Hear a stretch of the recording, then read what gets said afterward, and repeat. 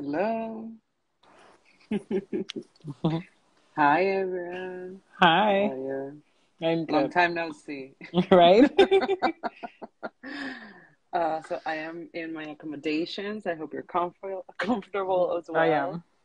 Um, and well, we're gonna let's just wait a couple of seconds until some people join in. Mhm. Uh, and so and and just thank you in general for uh, for for allowing us to share your piece in the exhibition. Well, your two pieces in the exhibition. Thank you for having me. Yeah. Uh, for the for for those of you in the public that have been able to see the show at America Society, uh, or those of you who haven't yet, uh, because the show is up until December 17. Uh, Averia's uh, Avria contributed uh, two beautiful sculptures that we're going to talk about in a in, in a little bit. Uh, two beautiful bronze sculptures that are. Uh, oh, she managed to make something very light, very heavy. uh, so we'll talk a little bit about that, her process, you know, her history. Um, so I, m- maybe we can just like dive in, you know. Um, Sure. You know, I I know that you come from a from a family of, of weavers. Um, your Straw piece vendors. also, Mhm. yeah, um, and so and, and I think that that is so deeply uh, related to the the work in particular that I was first uh, drawn to when I visited the Bahamas in 2017. The first works that I saw uh, were your um, The bags basket. Oh, yeah. the Mhm. straw yeah the, mhm. the the baskets Yeah. uh so from there to these like art more uh like chest plate pieces Yes. um i've seen how um you're approaching like that same heritage while also like obviously bringing it your own uh you'll explain it better than, Yes. I can. Your own criticism, your own history, um, Yes. your own, you know, everything. So I just want to talk a little bit about your background, Mhm. like uh, study wise, uh, how you. I, I'm always interested in how people like end up being artists. like Yeah. uh, just like you know like i come from art history became a curator like i was always drawn to that uh, Right. once i decided that i wanted to be in the art history track but how how was it for you Um, so getting into art, I think I kind of was always an artist because obviously my mom's a straw vendor, my dad's a construction, um, in the construction field, so he's a finished carpenter. So, um, so those two things have always been a part of my life. Um, and so it just transpired more so when I, after I had my first visit to the National Art Gallery of the Bahamas, I think it opened its doors in 2003 and I graduated from high school in 2004. So, um, connecting the dots between those two spaces kind of made me realize there's a space for art or a space for it to be seen. So that got me kind of like right on the track to know, okay, this is definitely what I want to do. So, yeah, that's yeah like, and yeah and yeah. and geography and and like in terms of geography it is downtown now, so it is Mhm. like this place that i think i mean you also worked at the national gallery so like right, you know that the people who work there and their mission is precisely to draw people that are in downtown exactly, Like, exactly. You are you are the target. It's kind of like it's kind of like living between the lines of like kitsch and fine art because you know being in a straw market and, and creating these kitschy items for tourism and then being in fine arts that still kind of like engages culture um, and people to kind of look a little deeper into who the people are who's making the work so it's kind of like living between those two spaces yeah. I I think that it would be um, that it would be helpful to give a, a like describe that situation a little bit more. Maybe in terms of geography, but also like what is the straw market? Okay, um, that's fine. Um, so the straw market is downtown Nassau on Bay Street. I think most island countries have a Bay Street.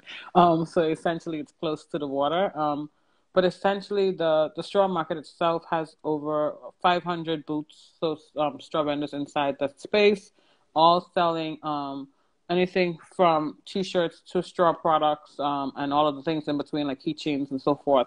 Um, so I grew up um with my mom doing a bit of both. Um, so I had a lot of um, ambivalence as a child with the the interaction between the tourists and um, Bahamians because we um, we alter our voices and um, our accents so we can be more understandable, so we're more palatable, and um, so all of those things are kind of like as a child very like like grating on on me. Um, and I didn't really explain a lot of that to my mom. She just knew I was the kid that didn't want to go to be in the straw market. Um, but we we did a lot of um the work and um and would have to sell it to the straw to to the tourists and I was kind of of the of the whole inclination that if you want it, buy it. If you don't, I'm not doing the whole, you know. what I mean? so you cannot yeah.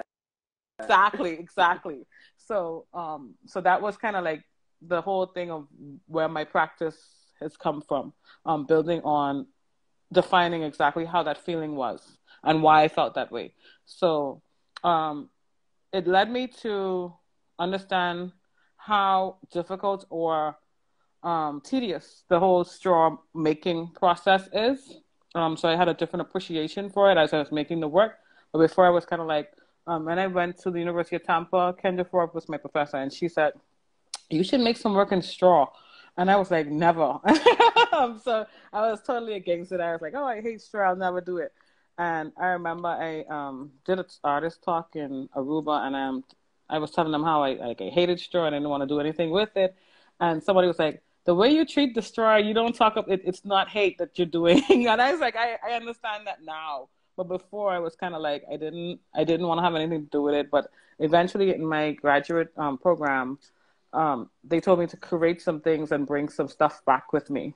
And I think that actually in, encouraged me on the curatorial side of things because um, when you're an artist and a curator, the two are not necessarily intertwined. You operate kind of differently on both scopes. But once they brought that part of it into it, I was able to say, you know what, I have to use the straw. So I brought. Um, it, it is a coming to terms with, with yeah with your with your family with what the Bahamas mm-hmm. can, repre- can represent and exactly and, the imagination of mm-hmm. of so many tourists. I think that that is why I mean at, at least for me in the um, uh, it was definitely one of the like core pieces that I wanted to to bring into the exhibition because I think the visit to the Bahamas was very um, was very enlightening in in you know in the sense that you know similar to when I to to visit in Jamaica like there are very like obvious things happening right. and there is a and there is a there is a performance and there are like geographical uh like separations or architectural separations that are very very uh, present in everyone's you know life and mm-hmm. the only way that sometimes people ignore them is because like you have to in in mm-hmm. uh, in order to just like continue to live under those circumstances mm-hmm. Mm-hmm. you know and it's not that you ignore them it's like you you need to get past that in order to like achieve something else exactly and i think that in your work there is a coming to terms with that that i that i think is uh, is very important and in the placement of the work itself in the exhibition it is in this area that is in relation to like us we can see in the in the photograph to um, Gladys uh, Gambi's work and uh, Joiri Minaya's work um, so yeah, like the, the and obviously uh, Dionne uh, Dionne Benjamin Smith, who was uh, a couple of weeks ago. I have no sense of time anymore, but I think it was like a couple of weeks ago that we also had an in the studio with her, and so of course, like those were very important pieces, uh, in able to to be able to represent this uh, these these kind of conflicting feelings. Yeah. Uh,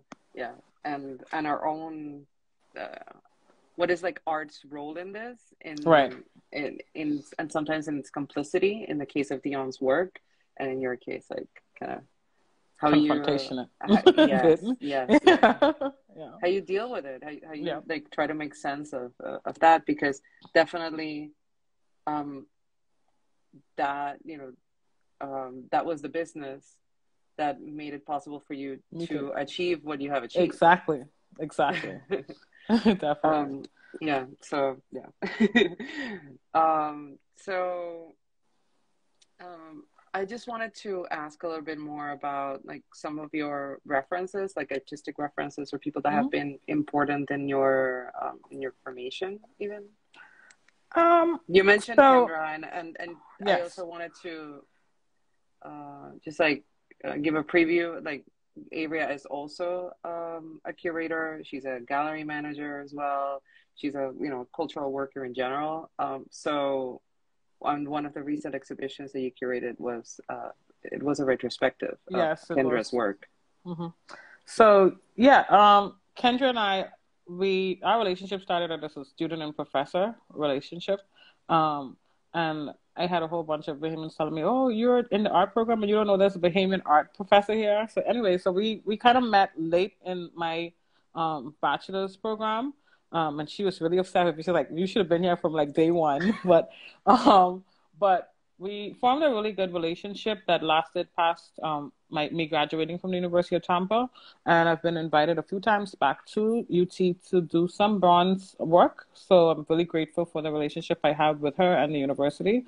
Um, but essentially, I've been following her practice because I was at the National Gallery of the Bahamas and as assistant curator there. So um, so I'm very much aware of like what the practice was when I was at school because her studio was our studio. So she worked um, in the studio there, and so I could see it from behind the scenes and actually see it when it got to the gallery and we installed it. So I had done quite a bit of um, national exhibitions showing her work, so bringing them in to installing it and so forth. And so uh, Amanda Coulson was the director at the National Gallery of the Bahamas, and she um, was asking around a lot, asking, "Hey, who should we have curate Kendra's um, survey exhibition?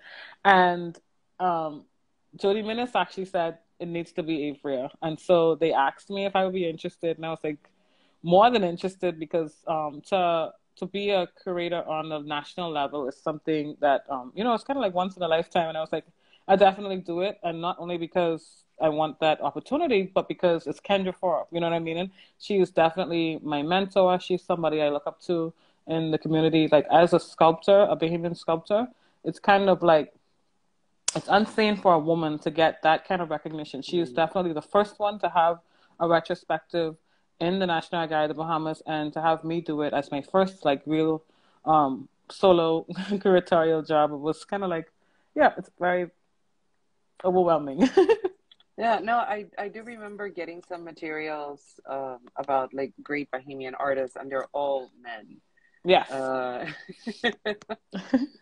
so kudos for that. I mean, Thank you. It, yeah, yeah. Just like uh, an update, an update, please. Right. so, um, is that um, was that when you first started experimenting and working with bronze, or was that at the University on? of Tampa? Yes, oh, I started working in bronze at the University of Tampa, and so so yeah, that really um, encouraged me when I went to do my graduate degree in sculpture and expanded practice, and they had a foundry. And in your in the grad program, it's all led by you. And so I just like had the opportunity in one of the classes. Like they had a they had a um, a bronze class, um, was like a foundry class, and I basically bribed all my friends to come and work for me, and that's how we ended up with the Tourism Perfection um, piece, which was the straw baskets.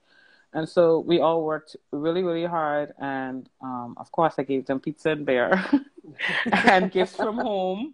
Um, but it was a it was a, a mammoth task. Um, it one thing about a, a foundry or a bronze pour is it's definitely a team effort, and and I think that's what I like most about a sculpture or sculpture practice. Uh-huh. So yeah. So the these pieces, the what I forget the title now, the perfection, right? Tourism perfection. That's this one here. Yeah. yeah. Um.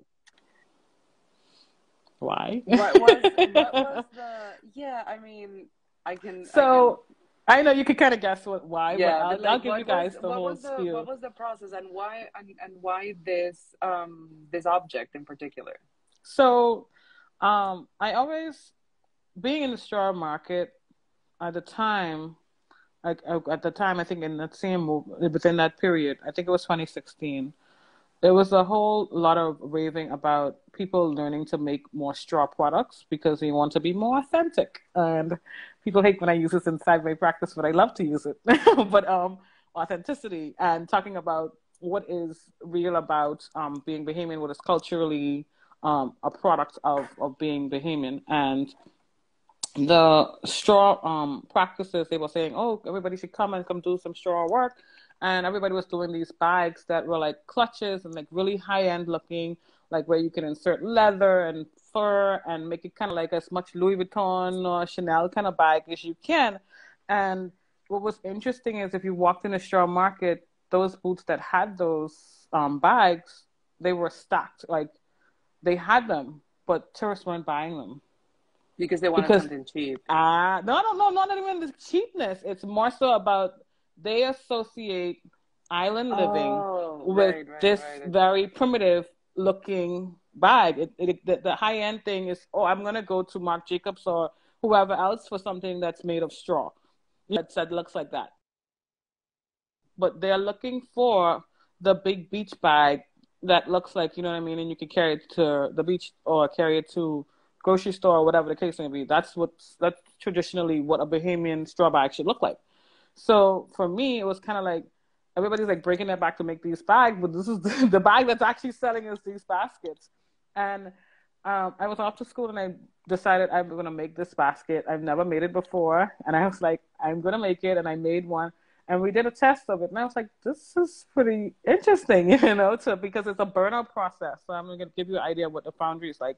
Um, yeah, please. I so I made the product more about the techniques. No problem. So I made the product, um, the straw bag out of, um, made the straw bag and I carried it to um, the foundry. So we are going to invest it. And an investment basically means you're going to um, put it into uh, a capsule that um, you're going to pour plaster, silica sand, water, basically a mixture to make it kind of um, almost like a, um, a mold of the thing, right? And so it's like a, a plumbing system that goes to the object and then you flip this thing upside down into a kiln. They burn out everything from that investment, and then we're going to replace that empty space with the bronze. Okay, so that's how you get the positive of what the what was left out of the investment. So I did this, and interesting about the straw is that it's very thin and it's very light. And so I had to coat it with wax in order for it to give it the thickness, in order for it to register in the investment because if it's too thin, it the bronze won't be able to reach into the, the investment to get to it. So I did it as the first time just to try it out and see what would happen. And it came out really interesting, even though it didn't come out fully. I think this is the one to the very top in the middle. That was the first one I did. So um, it it didn't come out perfect, but it's it was a, it was an amazing exactly. But it was an interesting um, objects. And I was like, this is interesting. And I would work on it because I had to cut off all the plumbing system that was on it and kind of like, um, so if some of them I soaked in like Coca Cola and all this other stuff. So anyway, I would carry it from one studio to the next studio and I would walk with it on my shoulder like a bag. And everybody would just stop and like stare. And so I was like, this object has a lot more power than I'm thinking. You know what I mean? So I just did it once and I was like, I have to do this over again.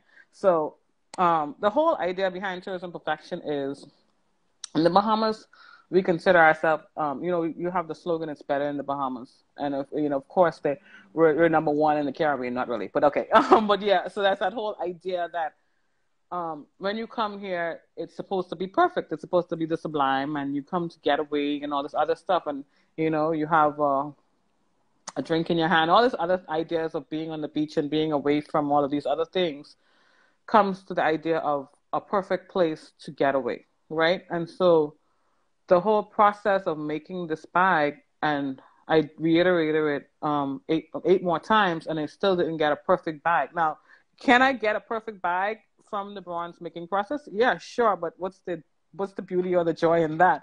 Um, so it's kind of like a, a, a comparison between what the Bahamas kind of like represents or try to present to the world that we're perfect and um, um, and tourism supposed to create this perfection, but it has a lot of flaws. And I like, I think that the flaws are the things that I'm pointing out mostly with the idea of these bags. Yeah, actually, um, something that we have discussed and, and we talked about in the in the last in-person talk uh, that we had here in New York was specifically about how like there is this certain feeling of um, like this imagery that becomes oppressive and um, and that a lot of the islands are trying to copy the mm-hmm. other. Mm-hmm. Uh, and even if, it, sometimes it even transcends the Caribbean because we could be looking towards uh, the Pacific with the Bali beds, right? You know, right? Uh, and it's like, what is really, you know, what is this? a bed in the on, on the beach, uh, right? but the whole the whole thing about stealing sand, um, like th- there are um, what else? The the, the little pigs. Mm-hmm. the, the, little pigs that you know they yes. are not great for the environment either. No, you know, no. so there is this sense that there is there are certain images that are being created to be consumed, but they are um, they're also part of what is destroying mm-hmm. the actual natural infrastructure. Exactly.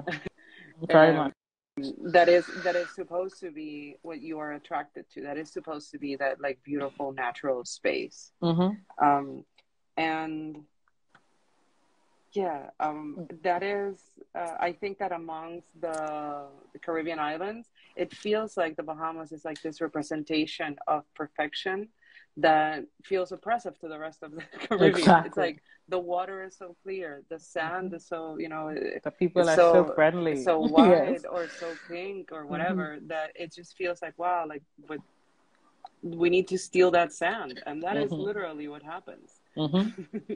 Definitely. um, yeah. Um, we so, sell our sand like what two cents per ton or something like that. Really, really cheap and then when you buy it from the store here, it's like three dollars a bag, and the bag is like this big. You know what I mean? So, yeah, it's crazy. It's oppressive to the people who live here, but you know. Yeah, yeah.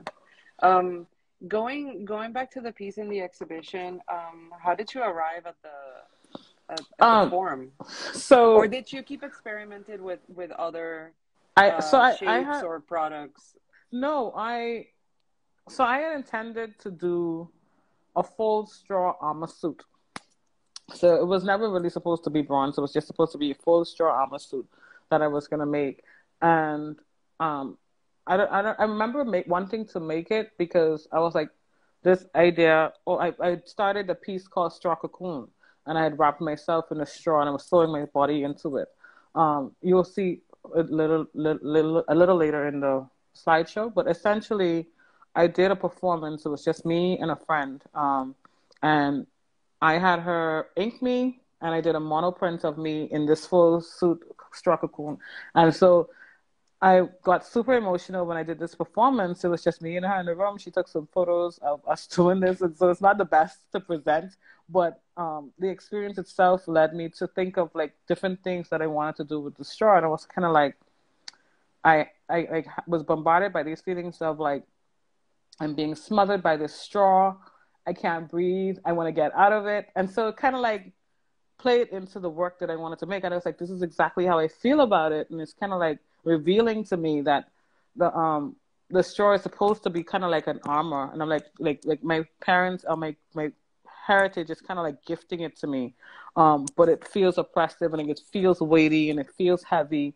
Like I should be protecting it or you know passing it down to the next generation and all of that. And so the whole idea of an armor is it's supposed to protect you, and the weight of it would cause you to basically crumble to your feet. you know, it really can't protect you because um, straw is penetrable, so it's it's not going to stop a knife or whatever from coming, some projectile from coming at you.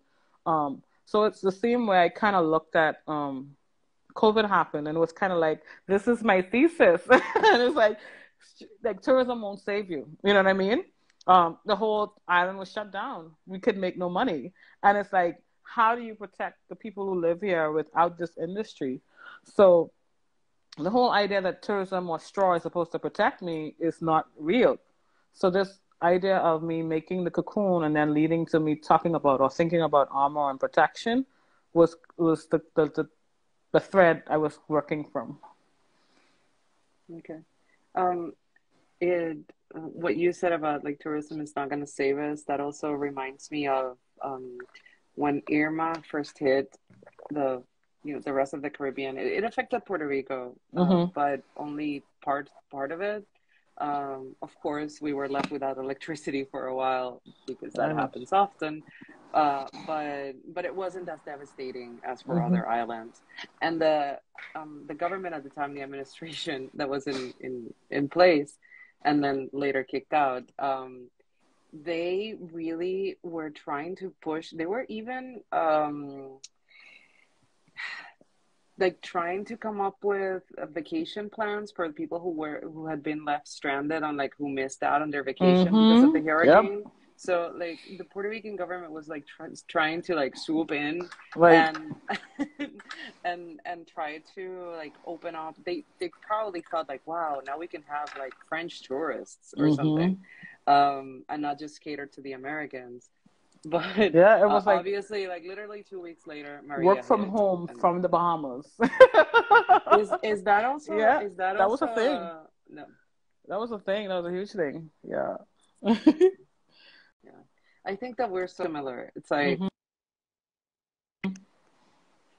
there is this thread from uh plantation economies to the to the to the institution of the hotels the Neo-colonial. yeah and Yeah. and whenever and whenever tourism and like tourism is is not often not necessarily the the number one uh, Industry. industry Mhm. not in every island but it, but i think that it always has an an outsized presence and an outsized importance Mhm. um because it becomes an issue of like having to like how people are educated how people are talk to, Right. to the visitors um and i was actually like pretty shocked that in the bahamas there is a a program that you have to go through and able to like to be able to work in the in the industry as well Yeah. Yeah. Definitely. um so uh, Bahama this is the hosts, blue right. this is this is part of the blue light special right? Yes, this is a, an elevating the blue light special. Um, this talks di- directly to kind of like the point of sale between um, the the the guest or the tourist and um, the straw vendor. Um, so everybody kind of says similar things like "Hi, how can I help you?" Da da da da, whatever. When you come to the straw market, but to get tourist um attention, sometimes you have to kind of like go from the go diff- from a different route. So most of our, our guests are definitely North American, so either from Canada or from America. And um, Walmart, not Walmart, Kmart used to have this tagline called the Blue Light Special. And so it was a huge thing if you wanted to get like a large group's attention, you would say, Hi, I've got the Blue Light Special. And they would like spin around and they were like, Okay, you know, what's the deal? Exactly. They were, they were, it came back to you immediately, right? Um, um, so it was just a moment of kind of like meeting them where their level is or what they're expecting. no, it is. It is though. I'm sorry. It, that's what it is. So yeah um, like you're recognizing who the country has um like has marketed itself to right, like- exactly. So, so that tagline was always so funny to me as a child, and I was like, I, I, I needed to name it this piece because I um this one here is raffia and burlap, and raffia is a big part of the straw products that we make. Um, that's what you embroider the product with, and so I used this. So this entire body of work was um, this piece was another one with fabrics that I would be line the bags with, and then so it was like a tapestry piece that I hung on the wall as well, and then the, the two armor pieces were a part of that as well.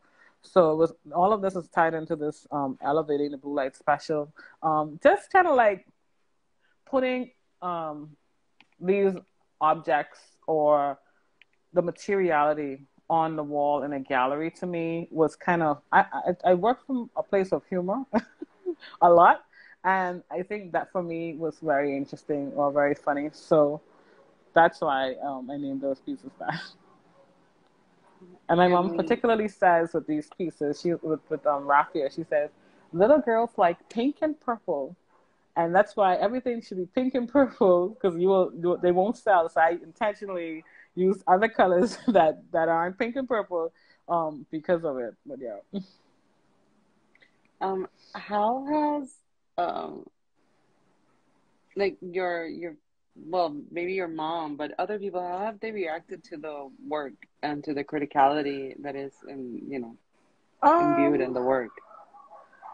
I I think I'm still trying to see what their reaction is. Um, I haven't had anybody specifically come to me. I'm pretty sure they had conversations amongst themselves, but um, As I people haven't had anybody um literally say to me like, um, at least not within my family, um, say, well, this is how I feel about it or whatever. But um, other people who have had other family members that are in the store industry have been like they come up to me and say, "This reminds me of working with my mom," or doing this on Saturdays with my grandma, or whatever. So that's been um very interesting. Um, so because I always want to know, nostalgic note.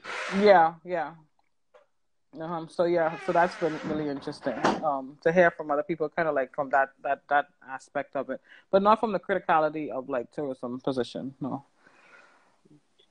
Maybe it's uh well, I don't know. I think that I, with the artists that I have engaged with and the and other I have engaged with in the hmm Bahamas, like definitely that you know that critical aspect is always present because like it's it's it's also my angle. It's like it's my interest, hmm but I think that they are very much aware of it.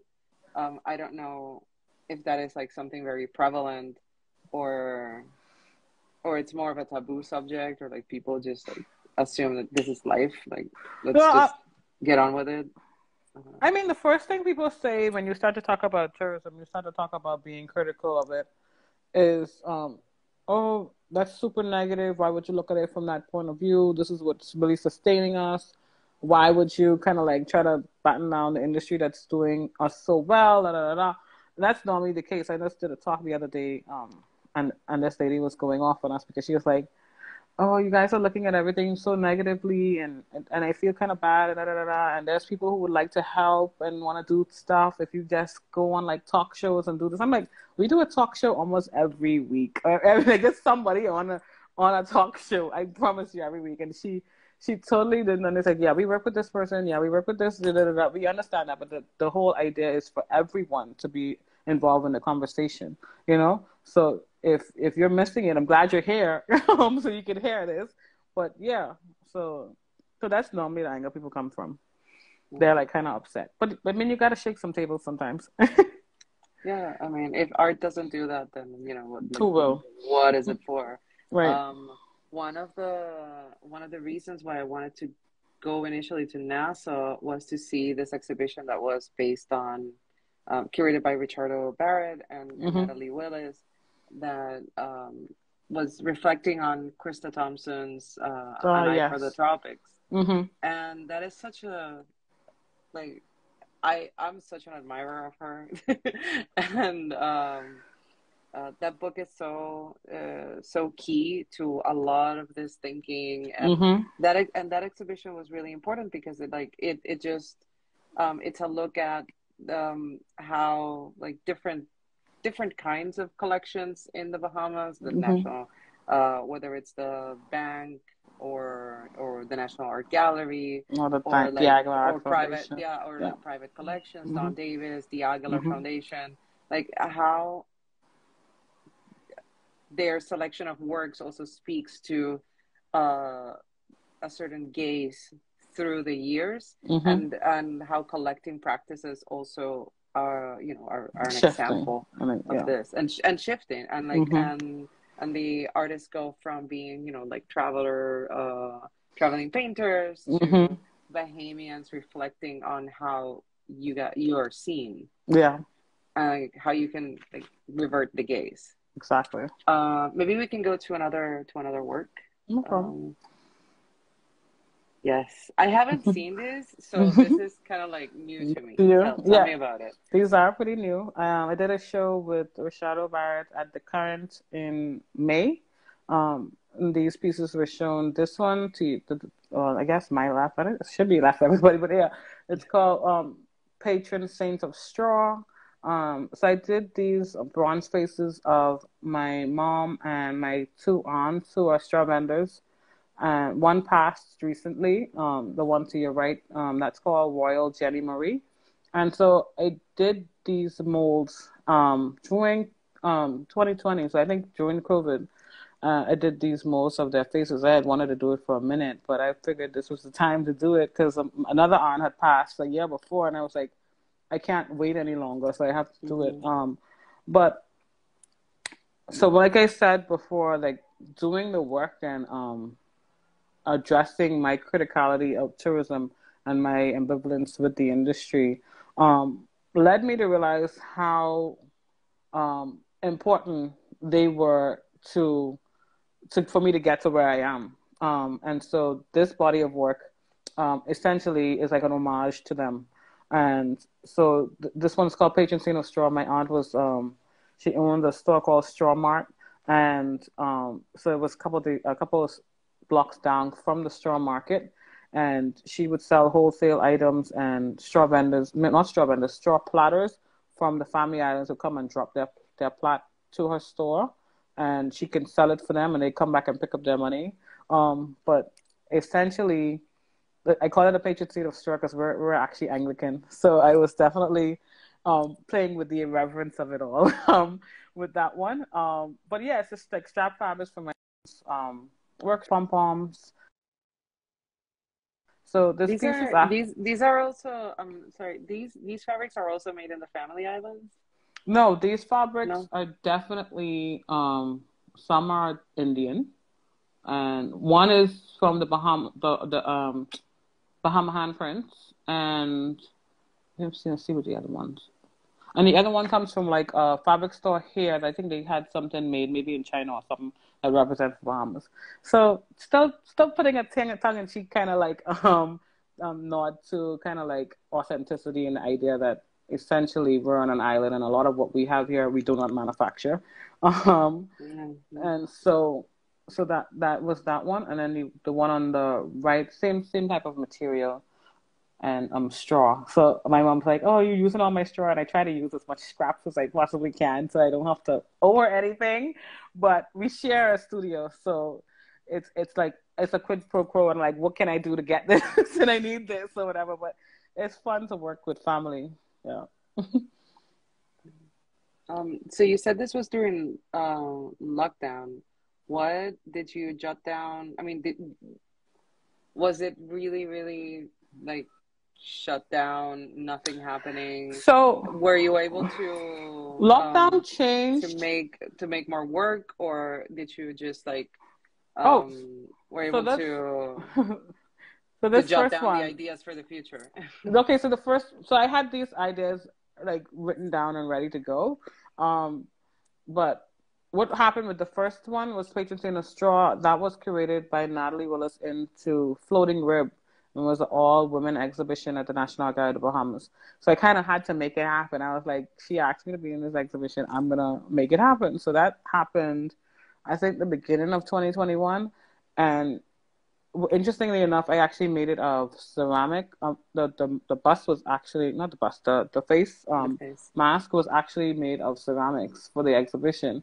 Intended to have it done with bronze because I was supposed to go back to Tampa and do all the bronze pieces and obviously that couldn't happen because travel was not happening um, um, or very limited and you needed all kind of stuff to travel um, so i did it with um, a ceramic face and um, did it with Jessica Colebrooke um, another artist here she was very gracious and she allowed me to work with her and got that done but yeah, that showed in Floating Rib. So that was the kind of like the first one that led to the rest of the works being made.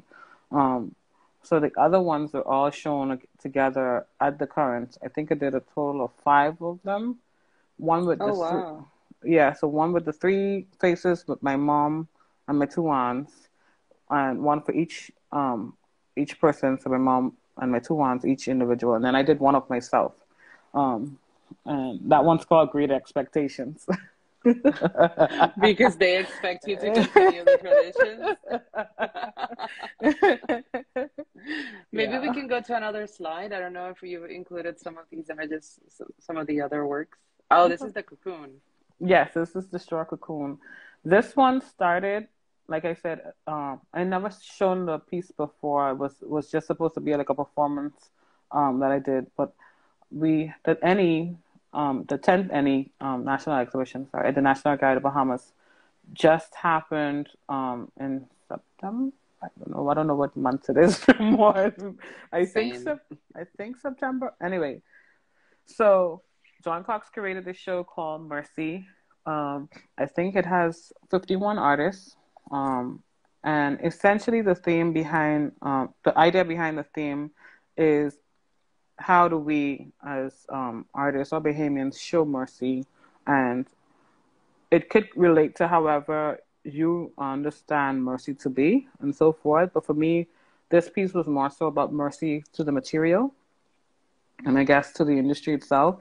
And so the whole story of me sewing myself into the piece and um, getting super emotional kind of talks about the industry and as people, um, how we kind of like are stereotyped, stereotyped to the space that we're in, and we kind of we're we're at the mercy of of the industry. And um, you know, so so that it's, it's a very heavy piece, but it's different from my other ones that are a little bit more lighter. But yeah, so that's what that is tied to, yeah. and it's called no. the ambiguity of the straw cocoon.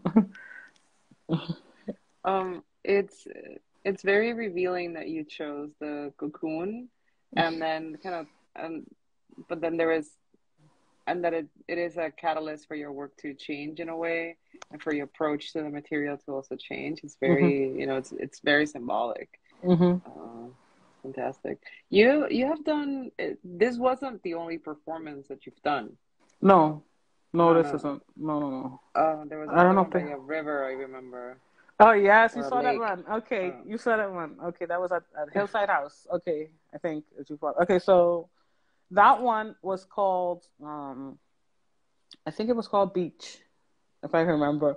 Um, but I did this for my thesis. I I went to places that um, so the first one was done in Ohio, so that's why I was going to school.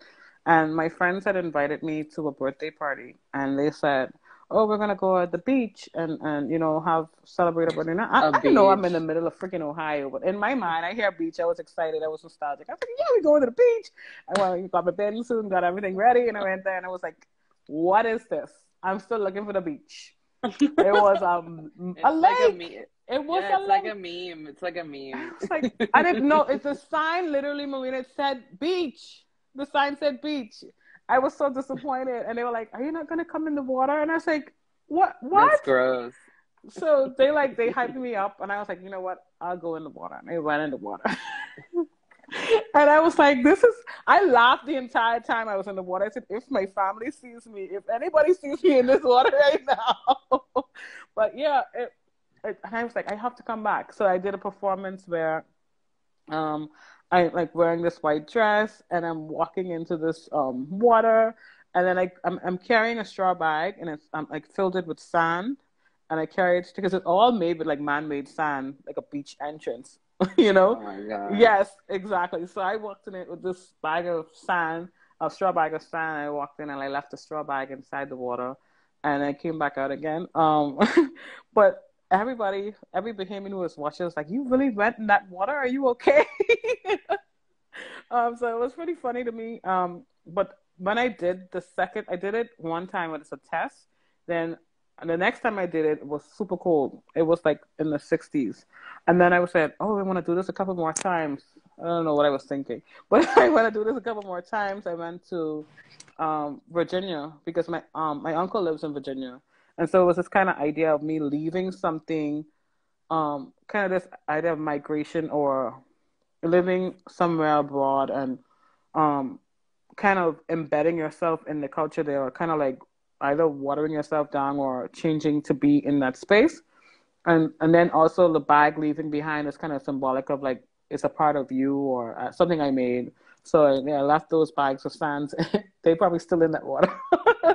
but one's in Virginia, and I was supposed to do another one in um, Detroit because I have a cousin that lives in Detroit as well. But yeah, so I don't know. I I might do it again. I don't know. Yeah, but yeah. yeah it was like an, an ongoing, you know, ongoing performance uh, with yeah. the Canadian diaspora.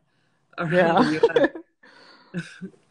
yeah. Um, when you, I I guess this is this is something that I also contend with. Like returning home after being abroad for you know for some years like how um, it, it it often changes it shifts how you see uh, the the place that you left how mm-hmm. you know, and and you need to to find yourself again and find like what um what you can do there that still uh, that, that yeah, still addresses that, that that's that connects to the person that you have become. Mm-hmm. um what what what does that mean for you in terms of going forward with your with your work? Um whether it's at the current or you know as an mm-hmm. artist curator mm-hmm. like what what do you want to do? And what do you feel like that what do you feel that connects to uh, to, to staying in the bahamas as well? Because i think that is also a choice yeah. When you when you stay in puerto rico when you stay in the bahamas wherever you know? Because mm-hmm. of course there is this there there is this drive also in a lot of uh, caribbean countries to leave. Yeah. Definitely. Um so then I was actually looking at um, staying in Ohio, um, but for me, culturally, Ohio was very difficult to live in. Just like it, it is what it is. Like obviously, you go to New York, you go to Miami, you could find your people and and you know find a way to make that feel like home. But Ohio was super difficult. Um, not that I didn't have um, traction and, and I could meet people and because um, of Columbus, I was looking at some galleries there and stuff. Um, but definitely coming home was a choice. um, so for me as an artist, I want to continue to practice. I hope to take. Um, I hope my daughter's not on this call. A leave of absence to go to back to Tampa to do some more bronze work. Um, but that's what I want to do um, because I feel like the bronze kind of informs the rest of my practice.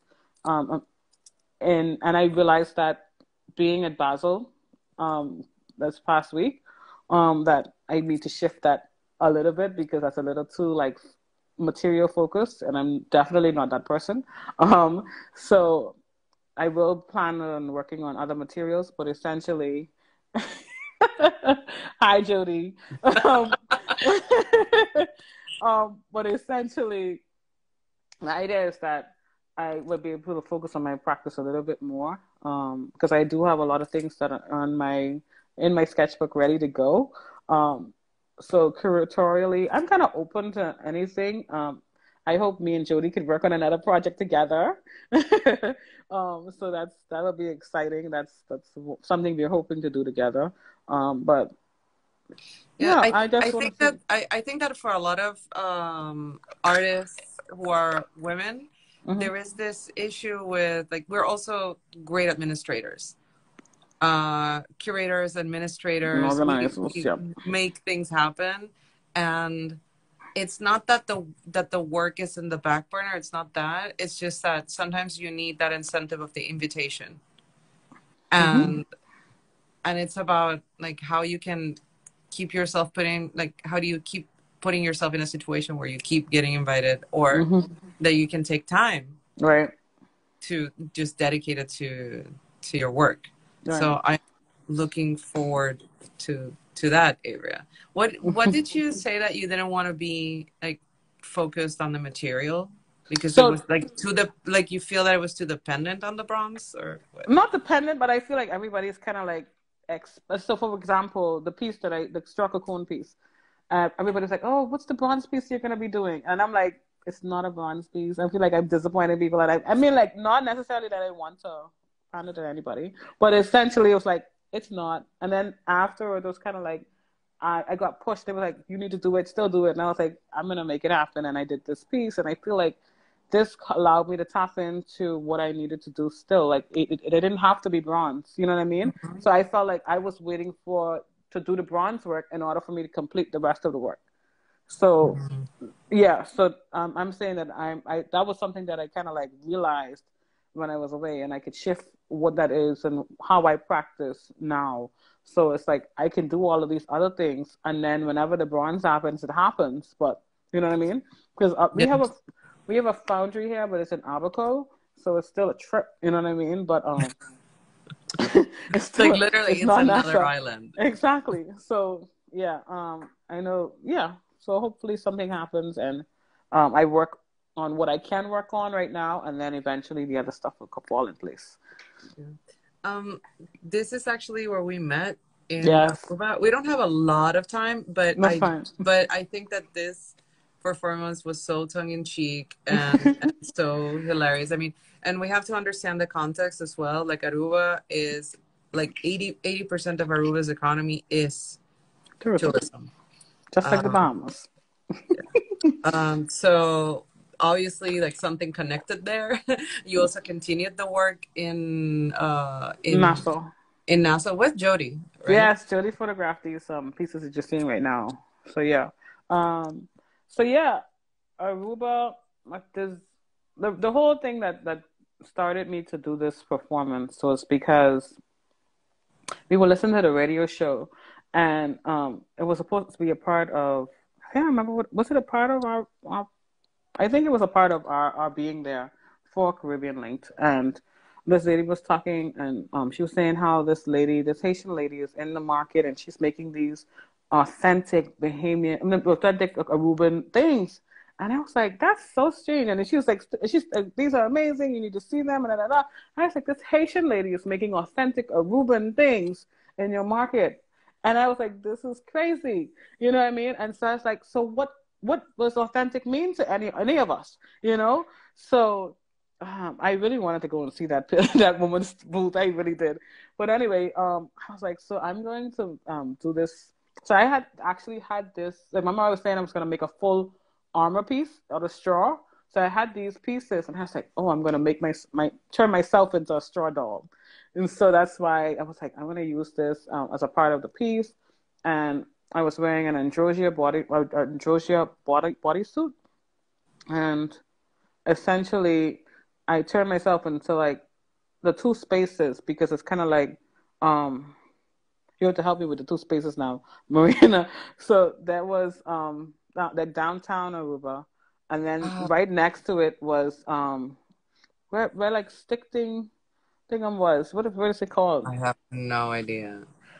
Oh man, I don't remember. But anyway, right next to it was kind of like where people were living, and um, and, and then you would see downtown where it was kind of like all cleaned up and beautiful. And, oh. You know what I mean? And um, um, Rancho. What was it? I almost had it. Anyway, so I was like, this is like an interesting idea of where the people who make the product are, and then the place where it's sold and and like there's just stratification of what the space looks like and how it's treated and and so forth. So I had to have those two um, contrasts. But it's it's, it's very similar to like downtown Nassau. Exactly.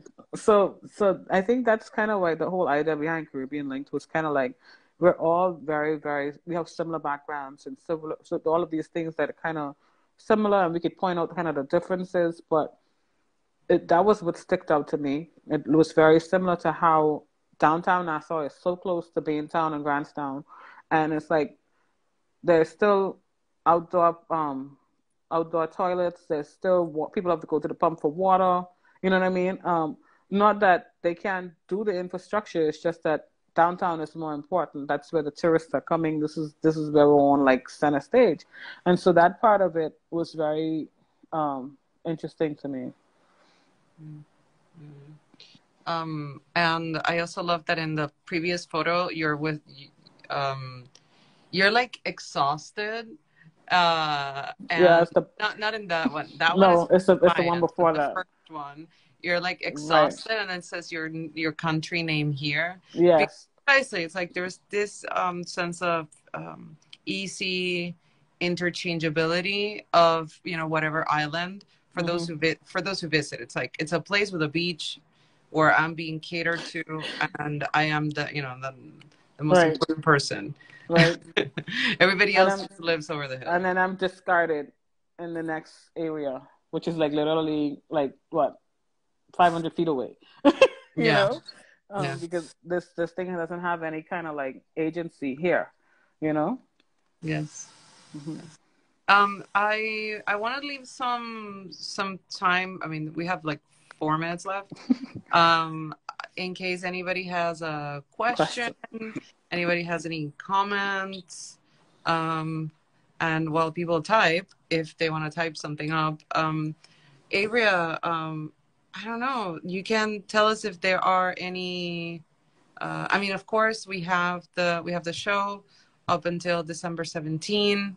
Uh, tomorrow, there's an in-person um, talk. Talk. I'm gonna, yeah, I'm gonna be in conversation with Ilaria Conti at 6:30 uh, at Americas Society. That's uh, Park 680 in New York City. if, anybody happens to be in, in New York, please join us. And Averia, um, any plans? Any like what's um, what, what, what's up? Like anything in in the notebook that you want to tell us about that you can tell us about? um, no, I don't. Not not immediately. Um, only one thing today is the last day of a show that I'm in. The same patron saint of straw is actually in a show in Bangladesh. It's the Asian Art Biennale. Oh, um, nice. So if anybody's in Bangladesh, please go and see it. but um, no, but that's but, fantastic. Yeah. That's fantastic. Yeah. I mm-hmm. think that um, I'll, I mean, something that I'm definitely gonna speak speak about tomorrow is how this research can grow, and I think that definitely. Uh, like it can grow horizontally, like mm-hmm. across the tropics, and I think that um, that other parts of Asia and Southeast Asia uh, are definitely uh, very, and I mean, it's just like we are we're living with the remnants of colonialism and the then like the present form of colonialism or mm-hmm. neocolonialism. Mm-hmm. Uh, so any other colonized place would be able like, to relate to the work. Yeah, in a way. You know, that's so funny you said that because when I was in um, grad school, um, of course, I was the only black girl, and and they were like, "Oh, but who like who's gonna be who's gonna see this work, and who you want to see this work?" And I was kind of like, "Oh, you're making work about the Bahamas. How are we gonna relate to that?" And I was like, "Really?" Wow. Yeah, it was. I, I must encourage anybody who's going to go to grad school, go somewhere that they'll challenge you because you will see the work improve so much. yeah. Um, someone is uh, Jamie Maria. Uh, mm-hmm. uh, she's saying, "I love how you name the works about the material. Art markets get very impressed by bronze." Mm-hmm. Uh, and she also adds, "I like the connection of it with colonizers' busts," mm-hmm. and that is that's exactly a great comment. Thank you. Mm-hmm. Definitely. Uh, yes, yes, yes. Um, and there was a kind of uh, infamous attack on the on the Christopher Columbus uh, statue in downtown mm-hmm. Nassau recently. Mm-hmm. So that's also um, that's also something that maybe you can like. They just finally removed work. it. They just they removed it. Yes. Yeah. They, yeah. So they're gonna decide what they're gonna do with it, whatever that means. Well, hopefully Maybe they give me give me a contract to put something there. they can, yeah. I mean, um, they can melt melt it. it's not it's not bronze though. Oh it's my like, god! I think it's like limestone or concrete or something. Mm, cheap. Mm-hmm. Eventually. Averia, um, thank you so much for joining us. Um, and I, I look forward to seeing you again somewhere. Miami, Rico. Uh, the show uh, closes here in New York December 17, but it will travel to Puerto Rico. So we'll have another opportunity to re engage with the works, uh, to get the word out there about um, this amazing group of 19 artists that are part of the exhibition. Uh, mm-hmm. So much for for joining us today. Thank and you. This, yeah, thank you. Um, and the the live will be available on the um, Americas Society Instagram and webpage. So thank you all. Good night. Thank you. Bye, Bye Rena.